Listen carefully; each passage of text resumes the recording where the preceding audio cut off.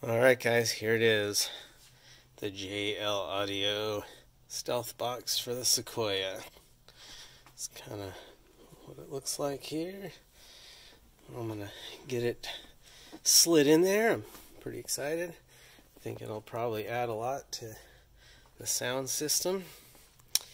I'm kind of an audiophile, so anyway, we'll go put it in here. Got my wire in there, you can kind of see it. I gotta pull all that junk out of there, but anyway, let's get that put in and then uh, take a look at it.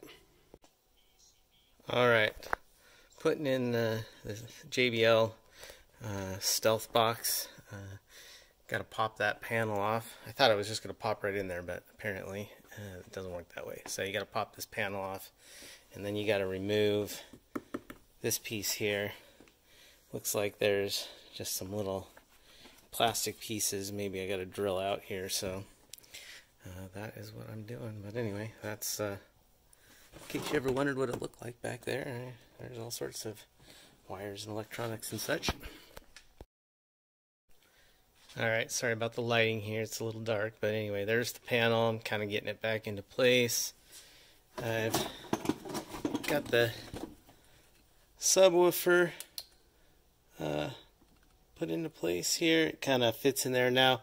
I don't know if because this is the luxury version, I don't know what this this thing here is. It'd be interesting if somebody in the comments knows that little metal thing right here that I'm pointing at there. It was right there, right in the way of the subwoofer, and in the instructions it did not say anything about having to move that, but I had to move it over and remount it. It looks like it's got some kind of heating part to it too. So I, you got to have it so that it looks like, uh, you know, so it can stay cool. So anyway, um, I think where I've got it is going to be okay. And then I had to remount that little plastic deal there that's got some electrical thing, some relay or something going on there. Um, I moved that right there. It looks like it's all going to come together and fit. But anyway, yeah, you always run into unexpected things and uh, stuff like this that people don't do very often.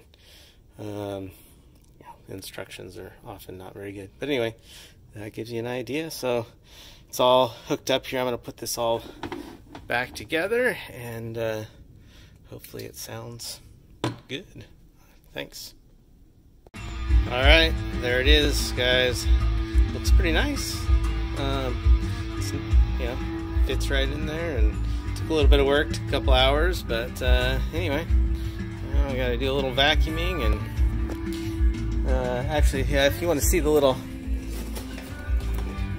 here's the piece you got to piece that you got to cut out, and I just took a half inch drill bit on the back side and just drilled out each one of these and it just popped right off. So theoretically I could probably figure out how to put it back on if I wanted to for some reason. So anyway, sounds good. Nothing like adding a little bass to your system to uh, make the sound full. Anyway, signing out. Thanks guys for watching.